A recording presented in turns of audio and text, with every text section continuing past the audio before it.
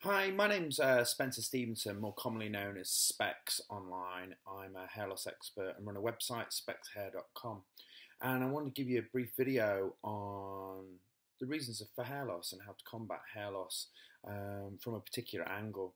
Now, hair loss patients are incredibly vulnerable, and there's many entities out there that exploit the vulnerability and try to capitalize on their situations I've been subject to that, and hence why I set up my website and do what I do to help try and inform and empower patients with accurate information and let them know about proven treatments that I feel are of benefit.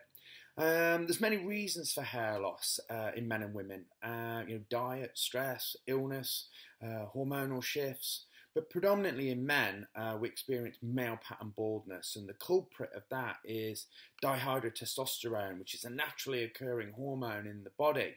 Uh, but some of us are genetically predisposed, and it causes male pattern baldness.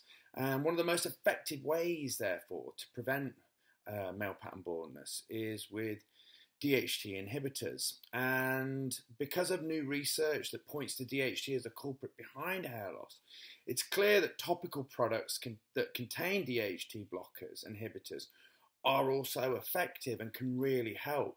And there's a number of products out there, all claiming to be the best and claiming to solve the problem. But predominantly, um, you know, I feel that keeping your hair healthy and trying um, to preserve what you've got initially by uh, easy methods like shampoos is a really good initial step to see if you can benefit rather than going down a medication route.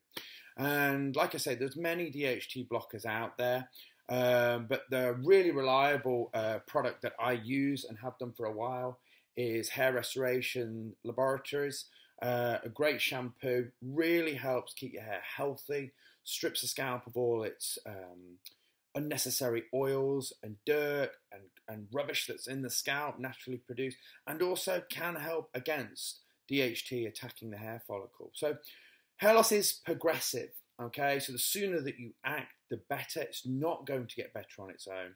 And I do feel that the Hair Restoration Laboratories shampoo is a benefit. So it's really worth trying and experimenting with it and give it a few months and see if you gain the benefits too. I hope you find this of help.